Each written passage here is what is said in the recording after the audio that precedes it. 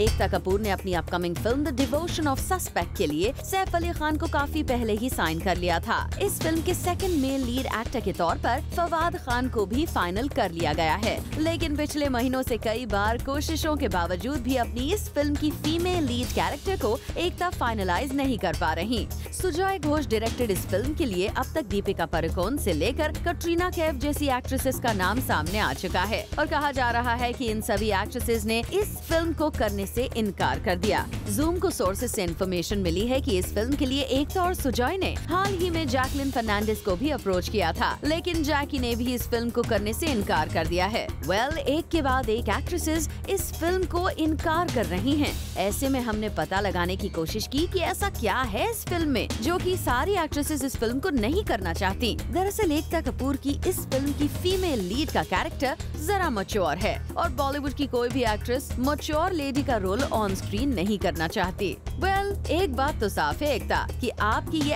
Actresses की तलाश काफ़ी लंबी होती जा रही है। ऐसे में हो सकता है कि अब किसी न्यू कमर को ही इस फ़िल्म के लिए साइन कर लें।